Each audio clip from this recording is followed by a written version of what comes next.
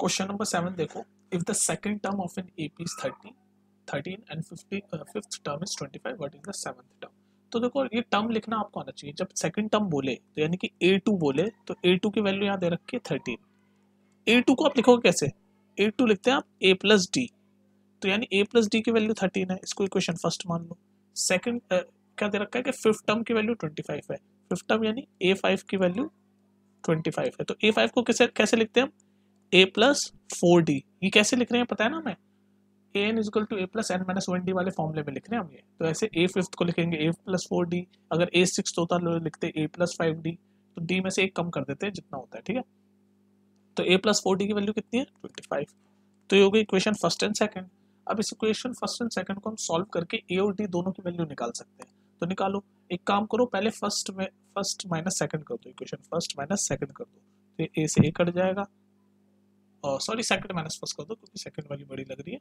तो second minus first कर दो। जब सेकंड माइनस फ़र्स्ट करोगे तो ए से ए कट गया। फोर डी माइनस डी कितना होता है? Three D twenty five minus thirteen कितना होता है? ट्वेल्व तो यहाँ से डी की वैल्यू आ गई फोर तो जैसे ही आपकी डी की वैल्यू फोर आ गई तो इस डी की वैल्यू इस फ़र्स्ट इक्वेशन में डाल दो, चाहे सेकंड में डाल दो तो ए की वैल्यू भी आ जाएगी। तो मान लो, मैं इस डी की वैल्यू किसी में भी डाल रहा हूँ।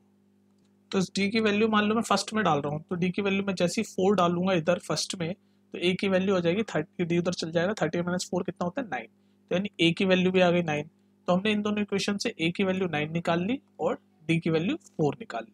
अब क्या करना है? हमें फाइनली निकालना है ए प्लस ये सेवंथ टर्म सेवंथ टर्म यानी ए प्लस सिक्स डी की वैल्यू निकालनी है हमें. तो ए की वैल्यू भी पता है नाइन डी की वैल्यू भी पता है नाइन इसमें डाल दो. तो ए प्लस सिक्स डी तो ए की वैल्यू नाइन या फॉर्मूले में डाल रहा हूँ ए इसमें डाल रहा हूँ सिक्स और डी की वैल्यू भी हमने कैलकुलेट की. फोर इसको अब सॉल्व कर दो. Nine plus six into four तो सिक्स इंटू फोर होता है twenty four twenty four plus nine कितना होता है? थर्टी थ्री यानी कि ऑप्शन नंबर बीस का आंसर है। बोलो, समझ आया आपको? इसमें समझने वाली बात ये थी या गलत जो बच्चे करते हैं वो ये करते हैं कि जो फिफ्थ टर्म होता है, उसको उनको पता नहीं चलता कि ए प्लस फोर डी लिखना है। सेकंड टर्म जो होता है, उसको उनको पता नहीं चलता कि ये मतलब फिफ्थ टर्म को ए प्लस फोर डी लिखना है और सेकंड टर्म को ए प्लस डी लिखना है। सेवन टर्म को ए प्लस सिक्स डी लिखना है। ये हमको पता होना चाहिए और ये हम कैसे करते हैं? ये हमारा वही एन टर्म वाले फॉर्मूले से हम ये करते हैं हम एन की जगह लिख देते हैं सेवन सेवन माइनस वन हो जाता है ना? फॉर्मूले में एन माइनस वन करते तो सेवन माइनस वन हो जाता है तो सिक्स डी हो जाता है। ठीक है? चल नेक्स्ट देखते हैं। आई होप समझ आ गया होगा। नहीं आया तो दो तीन बार चल लेना और कमेंट सेक्शन में पूछ लेना अगर कुछ भी दिक्कत हो। चलो नेक्स्ट देखते हैं जल्दी से।